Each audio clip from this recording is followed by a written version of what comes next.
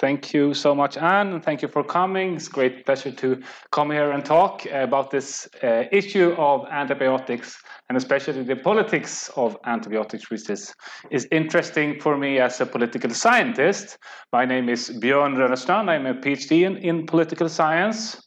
I currently work at something called the SOM Institute, I think perhaps some of you have heard about it. It's a survey organization where we study uh, public opinion and development in society, which is is uh, situated at the social science faculty at University of Gothenburg.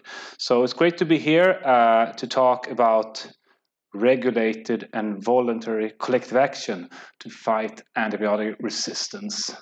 Uh, I'm the last, second to last uh, presenter at this course, so I know you learned a lot uh, already and also learned some things about the issue I'm going to talk about more specifically today, which is antibiotic resistance as a collective action dilemma. I think that was something that was touched upon by Christian Munthe as well as Fredrik Karlsson earlier. So I will try to build on that, on that argument, and go on and think about things to solve this dilemma. So uh, I will talk about uh, attempts to regulate the collective action dilemma um, and also attempts to govern this dilemma by means of voluntary collective actions. I will go into and talk about that, and I've split my, uh, split my presentation into four parts. Uh, basically, the first uh, short introduction to this issue to remind you about this argument of AMR being a collective action dilemma. And then the second part, I'll go into and, and discuss how you can regulate uh, and more into the problem of regulating this issue of antibiotic resistance. And then turn over to is it possible to govern this collective action dilemma with the voluntary uh, collective action, and then trying to wrap up at the end with some uh, final points. So I think uh, 45 minutes will be perfect for this, and then you'll have some break, and then will continue. So just want to remind you about this argument that I think Christian introduced to you about this being what we call in political science or economics or philosophy a collective action dilemma. Uh, namely, that there is a conflict basically between the individual interest and the longer collective interest when it comes to using antibiotics. As explained in this uh, article, uh, the authors say that there is little incentives for patients or healthcare providers to consider the effect of their decision to use antibiotics on overall levels of resistance. Basically, when you go to the doctor and think about treating some infections with antibiotics, there is very little incentives for you to think, okay, I shouldn't take these antibiotics because uh, I know there is a long-term problem of antibiotic resistance.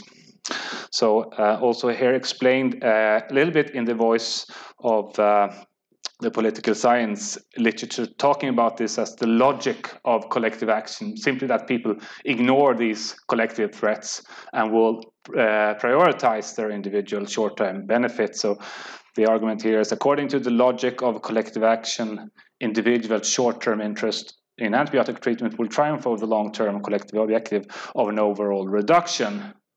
As you may know, of course, there is uh, this is not a clear-cut example, as has, I guess, been uh, presented for you. There is also, to some extent, short-term incentives of, not, of avoiding antibiotic if it's possible. But generally, we see this problem. People actually behave as this were the case of logic that is determining people's uh, people's behavior. So, so we have uh, a dilemma here, uh, and this is uh, pretty much the center of attention for many of uh, my colleagues in the political science department who study collective action in other types of problems. This is very similar to the dilemmas of climate change, for example. We see the same problem, of course, of people ignoring basically the long-term and collective threats uh, of climate change just to promote self-interest in the short term. So, so uh, we see this type of problem, I guess, uh, in all social circumstances uh, in society to some extent. Uh, but as I said, we have to think about way of doing something to combat this uh, antibiotic resistance problem and to, to, to create cooperation for the common good. Uh, and I think that you can, uh, if you want to uh, make a simplification, you can divide between different type of attempts to do this. Basically, you can use regulations and try to force people to do uh, good things for the collective, but you can also sometimes uh, to some extent, think that people could could do this voluntarily without these regulations.